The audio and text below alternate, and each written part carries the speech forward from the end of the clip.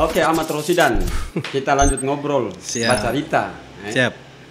Em, tadi so baca cerita soal bagaimana Rosidan menulis, Ahmad menulis, terus kemudian eh, bergabung dengan pemerintah Kota Ternate dalam hal ini sebagai Oke.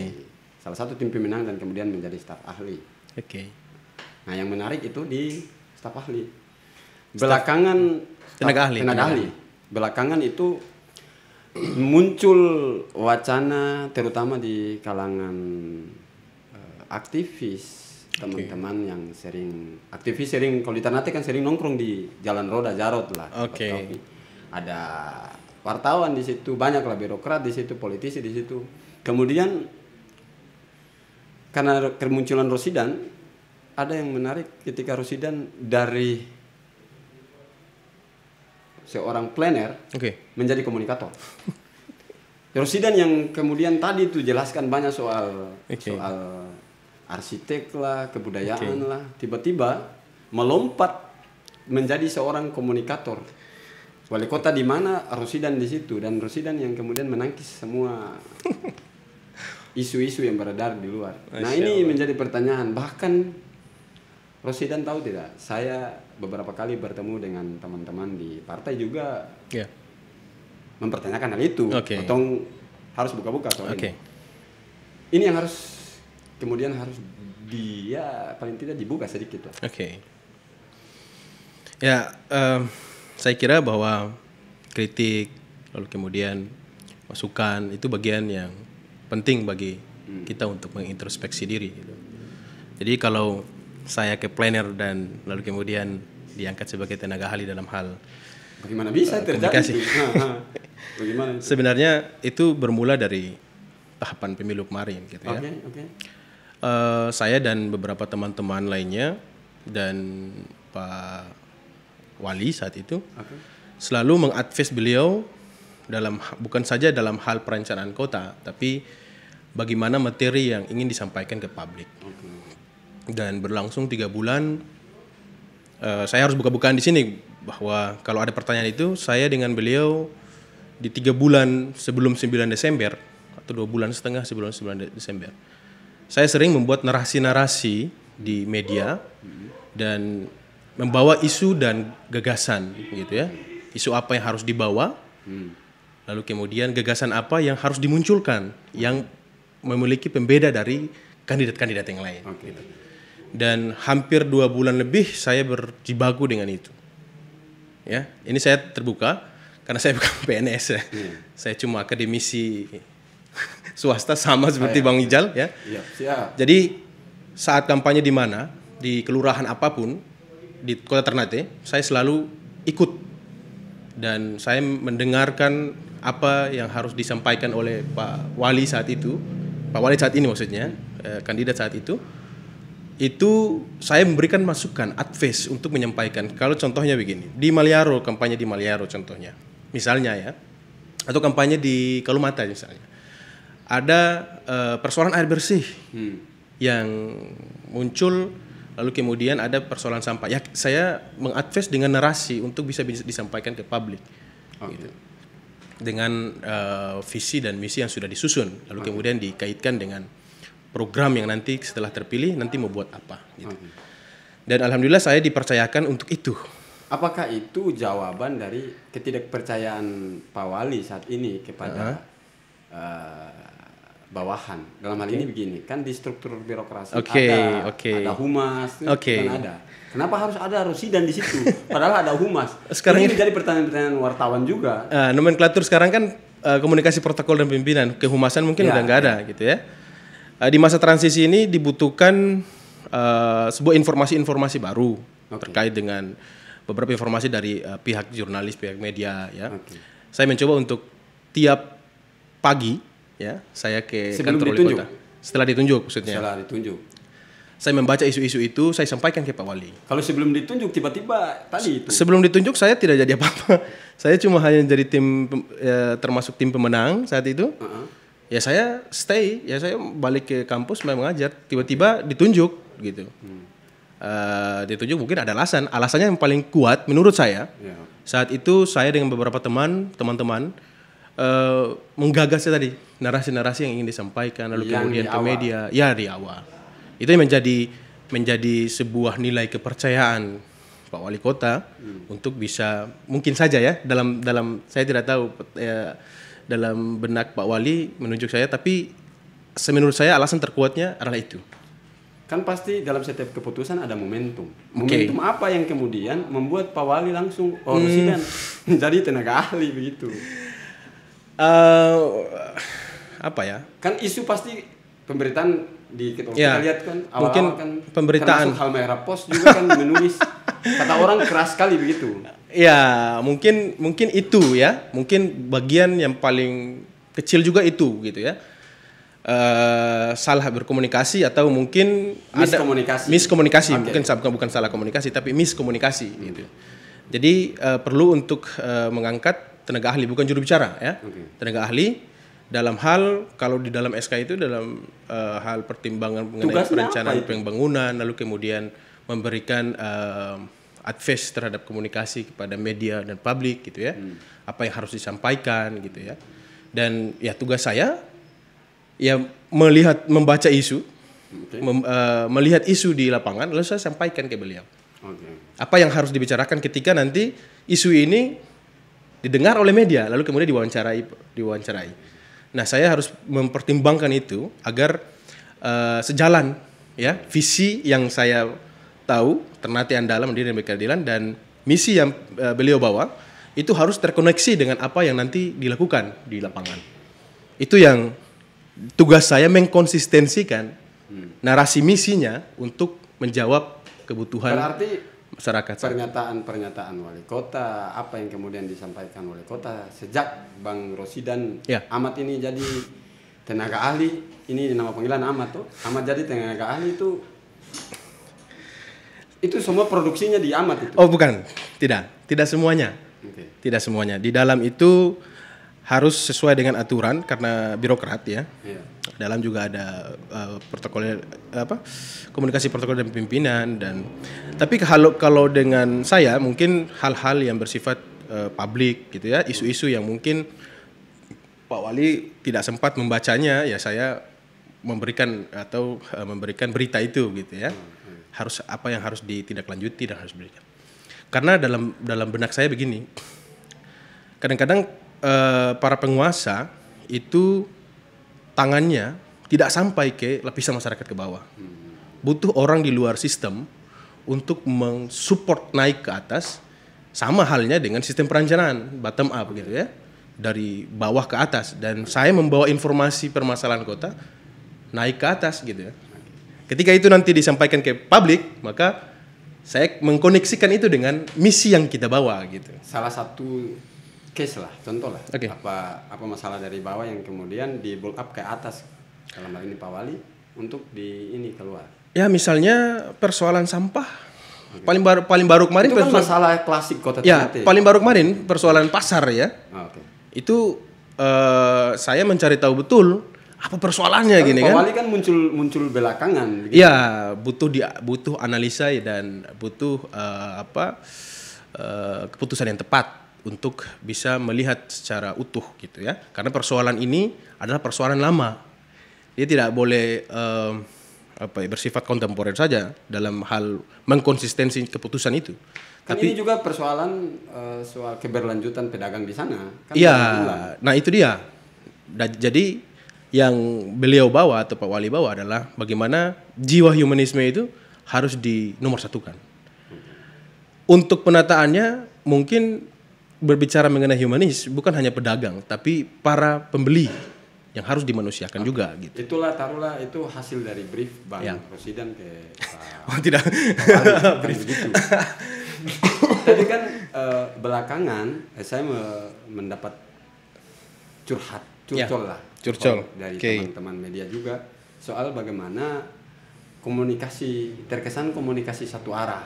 Saya Ah, curiga nih, jangan-jangan satu arahnya gimana gimana tuh? Jadi misalnya em, karena mungkin ter, apakah ini terlalu hati-hati ataukah bagaimana ya? Iya. Jadi beberapa isu misalnya itu Eh.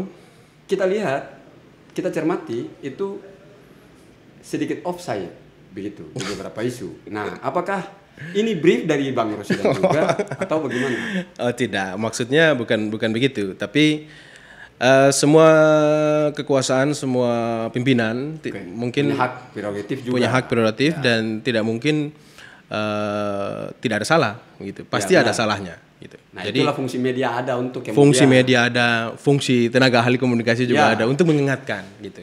Oke. Jadi dalam hal-hal seperti itu yang bersifat strategis, yang memang dituntut masyarakat untuk secepatnya, Kalau kita representasikan Bang Rosidan, Ya. Gimana? Ya. apa yang Bang Rosidan brief tentang bentuk narasi dan komunikasi Oke. Pak Wali keluar, bahan-bahan yang Rosidan sudah inilah, Hmm. Ya. itu berapa persen sih yang dieksekusi oleh Pak Wali, begitu? saya tidak menghitung secara statistik, tapi tapi biasanya ada beberapa yang di di eh, apa istilahnya didengar ya, dan mungkin eh, ada keputusan-keputusan lain dari beliau yang memang patut diacungi jempol karena beliau Oh, berpengalaman. Contoh, contoh. Eh, contoh mengenai kemarin tentang penen- penentuan delineasi RDTR gitu ya. Ya, itu Beliau sangat ya, beliau paham betul. Padahal saya sebagai orang planner yang memang jurusannya di situ, tapi beliau lebih memahami dibanding, dibanding saya. Kita belum ada itu kan? Belum, baru belum, disahkan. Kemarin baru di uji publik ya. Oke, oke. Eh, beliau punya referensi yang begitu luar biasa. Soalnya soal soal titik-titik banjir gitu ya. Lalu kemudian itu diaplikasikan di dalam bentuk data gitu. Beliau juga eh, memberikan beberapa data yang mungkin juga kurang teradvance dengan konsultan yang dipakai oleh ATR saat itu. Ya, Beliau berikan masukan dan di luar dugaan saya, beliau lebih memahami karena memang pengalaman beliau berhadapan langsung saat eh, 9 tahun ya 8 tahun terakhir menjadi sekon ya cukup luar biasa dan itu harus dia Itu di luar di luar brief Bang Bang. saya berikan masukan tapi beliau lebih mengerti gitu ya Oke. beliau lebih memahami karena pengalaman tadi. Saya kira itu. Apakah selama beberapa bulan, ini jabatannya berapa bulan? Eh, siapa Yang tenaga ahli. oh tinggal ahli baru oh, tiga bulan Empat bulan, ya? tiga bulan masuk empat bulan lah Oke. Di jalan empat bulan itu tapi bang Ijal tenaga ahli bukan cuma saya ada ada dua orang lagi tenaga ahli Siapa? gitu yang di luar publik tahu cuma Rosidan. ya akan terekspos juga nanti suatu saat nanti. Oh, oke. Belum ya? ya. Belum. Sudah, sudah, sudah ada. Oke. Sudah ada tenaga ahli. Jadi Selain kan- saya maksudnya. Bang Ahmad ini, Ahmad Rosidan ini kan di bidang komunikasi. Iya. Nah, artinya bahwa di urusan-urusan PR Pak Wali Oke. itu ada tanggung jawab besar di Bang Ahmad Oke. di situ. Oke. Nah, em, dari Bang Ahmad yang aktivis, penulis, yang suka kritis di tempat ngopi, kemudian Dikasih data sama Bang Ijal juga Iya, kan? betul. Betul dikasih data. Kemudian ke birokrat yang Iya, oke. sangat banyak aturan gitu, terutama Oke. sama kekuasaan ini. Iya. Yang paling bikin Bang Sidang ilfil begitu, apa begitu? Kadang-kadang saya juga berpikir begitu. Ih, kenapa saya terjebak di sini gitu ya? Terjebak. Iya. Maksudnya kenapa saya harus ambil keputusan ini gitu? Oke. Keputusan ini maksudnya bukan keputusan sebagai tenaga ahli saja, tapi keputusan dalam hal eh, membantu pemenang Pak Wali Kota dan Wakil Wali Kota Kemudian saat itu. Ya. seterusnya. Dan kemudian bertanggung jawab seterusnya. Saya agak kadang-kadang ini juga eh, terlampaui dari jiwa idealisme saya. Iya, tong sotara buku dapat Rosidan lagi Ya. di Jarot gitu. Dulu, dulu kan diskusinya mulai dari analisis pembangunan, politik, infrastruktur sampai percintaan kan di Jarot. Sekarang sutera ada gitu. Oh, tidak, tidak, tidak. Itu Teman-teman Jarot ih, Rosidan mana? Eh, kan bertanya-tanya tuh. Saya mungkin kalau eh, ke Jarod itu pagi, saya Oke, Jarodnya pagi. pagi. Malam saya sudah istirahat. karena jam kantor. iya. Jadi agak mohon maaf untuk teman-teman eh, lainnya.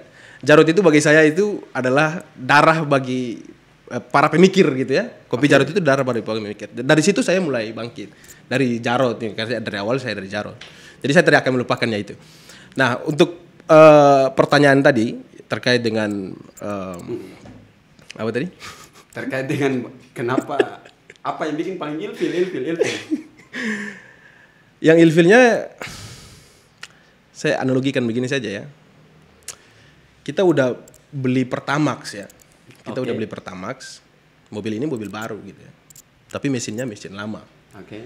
Yang buat saya ilfil, kita harus berada pada kecepatan taruhlah 120 km gitu ya.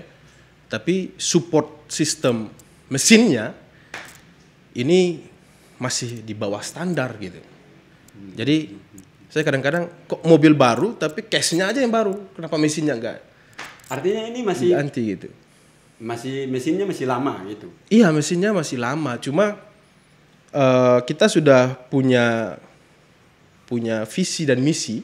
Apakah ini dirasakan oleh Pak Wali? eh, I don't know, tapi saya yakin Dari gestur sebagai seorang Ya. komunikator pasti tahu lah. Ya pastilah. Iya. Dia mungkin pasti merasakan hal itu. Dan Bahwa ini mesin tua yang mau diperbarui. ya harus. Itu yang membuat di awal-awal ini Iya, karena satu visi dalam bekerja itu lebih baik dibandingkan orang yang tidak sevisi lalu kemudian kerja gitu ya. Karena inti dari birokrasi adalah kerjasama. kalau tadi kan pembicara sistem tuh. Oke. Kalau komponen Oke. sekarang di Pak Wali deh. Ini Oke. curhat lah. begitu. Oke, oke, oke. Maksudnya ini loh brief Pak Wali gitu tiba-tiba terjadi begitu. Apa Oh, begitu? Saya tidak punya kekua- kekuatan dan kekuasaan untuk dan punya hak prerogatif untuk bisa uh, Oke, oke. memberikan uh, arahan ke beliau ya. Oke, oke. Karena beliau cukup berpengalaman lah untuk hal itu. Saya cuma hanya di batasan tertentu. Oke. Batasan-batasan tadi saja yang saya katakan dari awal. Jadi kalau persoalan yang tadi saya kira saya tidak sampai ke situ karena tugas saya adalah sebagai No, no, tenaga ahli bukan, komunikasi. bukan bukan keputusan politik lah ini. Iya. Keputusan politik pasti Pak Wali lebih tahu. Ya, oke. Kalau keputusan-keputusan politik ini Oke. menyangkut dengan apa yang kemudian diinginkan publik. Ah, Oke, oke. Pelayanan dan se- sebagainya ini kan kemudian butuh kehadiran Pak Wali. Hmm. Kalau kehadiran Pak Wali di situ artinya Ya. Rosiden di situ dong. Kan begitu. Iya, oke. Kan begitu. Berarti Ya. itu yang paling penting. Apa yang paling membuat Rosidan Yang paling penting itu ketika satu persoalan contohnya kalau mau hadir lalu kemudian eh, berdiri di, di tengah-tengah masyarakat kita harus tahu dulu analisanya harus tahu bahwa apa sih isu yang dibawa gitu ya taruhlah begini. Apa yang harus dipijaki, ya. eh, menginginkan Pak Wali Ya. hadir sebagai taruhlah Superman lah gitu. Maksudnya begini. Hmm, oke. eh, kita kan mau yang baik oke di tengah-tengah perjalanan oke apakah tampilan Pak Wali itu membuat kadang-kadang membuat sebagai seorang komunikator oke oke waduh tidak sesuai gitu. ada terhadap perasaan itu Em, tidak ada sih sejauh ini mungkin nggak tahu nanti ke depannya seperti apa Oh, tapi belum- untuk sejauh baru, ini baru toh baru Ya, sejauh ini tidak sama sekali. Beliau menempatkan sesuai dengan prosedur yang beliau pikirkan gitu ya. Oke. Dan- Apakah Rosidan menempatkan diri sebagai seorang komunikator begitu Ya, dalam hal-hal urusan publik, bukan urusan politik? Ya. Kalau misalnya memutuskan masuk partai itu urusan politik, Ya, oke. Iya kan? Ya. Gitu. Ini urusan-urusan publik. Apakah itu tadi ya Rosidan? harus. Saya saya tergabung di kekuasaan ini pemerintah kali ini hanya untuk bagaimana mengaplikasikan itu semua. Oke. oke. Dari gagasan yang saya bawa dari bawah sampai ke telinga Pak Wali Kota. Hmm. Segala persoalan, segala eh, isu dan masalah lainnya itu saya tetap akan berkomunikasi dengan Wali Kota. Kalau saya mungkin elaborasi sedikit tentang bagaimana yang terekam di terutama di Ya. beberapa media termasuk hal Merah Pos ada Ya. inkonsistensi dalam Ya. bentuk PR di luar. pertama. Oke, oke. Inkonsistensinya dalam bentuk pernyataan-pernyataan. Oke. Eh, saya kira ini hal yang sebenarnya tidak perlu terjadi. Oke, oke, oke. Tapi kenapa Ya. harus terjadi? Apakah ini di luar Rosidan? Sepertinya saya belum masuk deh itu ya kalau Sudah. terkait penyerapan eh, media, apa isu Malut Pos kemarin eh apa ha- ha- sorry Halmera Pos kemarin saya sepertinya saya belum masuk deh. Eh, Tapi ada beberapa- belakangan belakangan belakangan. Tapi ada beberapa beberapa kali memang Kata terakhir ke terakhir tadi ditulis oleh beberapa media, misalnya Pak Wali tweet begitu, bohong, begitu. Ah, Ini sebenarnya inkonsistensi ini yang terlihat. Saya saya melihat begini Pak Bang Ijaz. Bagaimana ini PR juga Ya. kan sebagai Pak Wali ini menyadari bahwa oke. s- persoalan kota itu pelik sekali gitu ya. Ya, Banyak makanya ada sekali. pernyataan nih, saya bukan Superman. Ya, betul, jadi betul, betul. kalau saya bukan Superman tapi bukan David Copperfield gitu ya. Oke, oke. Yang bisa menghilangkan patung Liberty di Amerika gitu. Ya, ya, ya. Tapi dalam pengamatan saya beliau memang cukup luar biasa eh, membawa arah kebijakan ini hanya untuk masyarakat. Fokus untuk bekerja. Kalau secara konsep ya, saya cut sebentar. Oke. Secara konsep saya paling suka itu di internet andalan. Hmm. Ah, Dari visinya, misinya. Yang jadi pertanyaan Oke. di pelaksanaan nanti. Ini kan masih punya bu- butuh waktu. Makanya analogi analo- analogi tadi itu ditempatkan pada tempatnya gitu ya. Oke, oke, oke. Bahwa semua ini sudah baru nih Ya, ya. Kita butuh komponen-komponen yang baru supaya eh, kencang di 120 sampai 200 km gitu ya. Gasnya ditancap terus. Tapi sayangnya beberapa komponen saya tidak bisa menyebutkan dan menyimpulkan itu. Tapi yang saya sadari ya semua permasalahan perkotaan itu butuh kolaborasi dari setiap OPD terkait. Itu perangkat daerah terkait. Dan ini kalau seandainya ada isu dari Ya. masyarakat, ya OPD terkait ini harus turun secara langsung, Jemput ya. jemput. Kalau me- mengenai kebijakan dan keputusan, Pak Wali lebih memutuskan untuk mementingkan kepentingan masyarakat. Dan itu harus bekerja sama dengan OPD sevisi, gitu ya. Dan mau bekerja, gitu.